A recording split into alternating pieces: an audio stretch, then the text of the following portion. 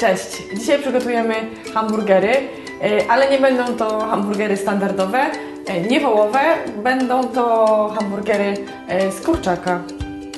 Zapraszam. Jak każde hamburgery, również i te przygotowuje się bardzo szybko.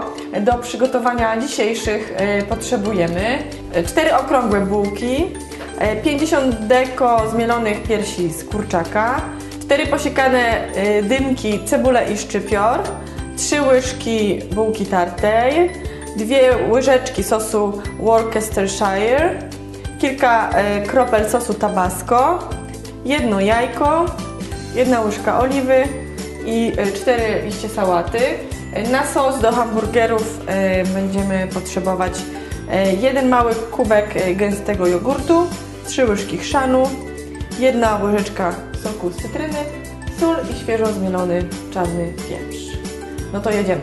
Na początku przygotujemy sos. Zmieszamy jogurt z odrobiną soku z cytryny, chrzanem, sól i pieprz i mieszamy dokładnie. Sos odstawiamy na bok, trochę się przegryzie, jak będziemy e, przygotowywać e, mięso na hamburgery. E, W misce mieszamy e, zmielone piersi z kurczaka. Oczywiście trzeba było je wcześniej trochę e, umyć, oczyścić z błon i z kości.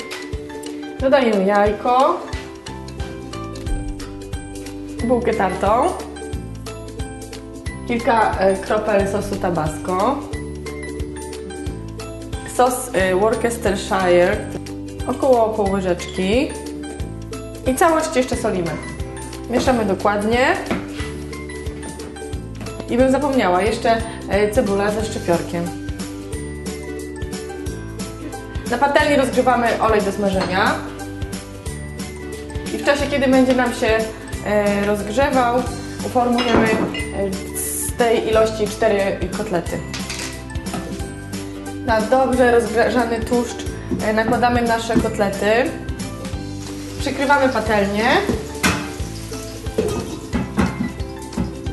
I smażymy jakieś 3 minuty, później przewrócimy, przykryjemy i będą smażone e, kolejne 3 minuty. E, W tym czasie nagrzewam lekko e, piekarnik, tak na około 60 stopni, żeby podgrzać delikatnie nasze bułki.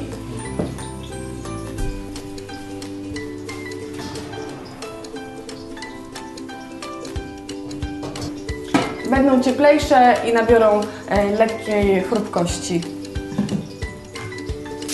Kotlety muszą nabrać pięknej, złocistej e, barwy. Przekręciłam je na drugą stronę, zamykam e, i smażę e, kolejne 3 minuty na dość wysokim ogniu. Bułeczki są leciutko ciepłe, chrupiące, będę już je wyciągać. Na każdą połówkę bułki nakładamy sos.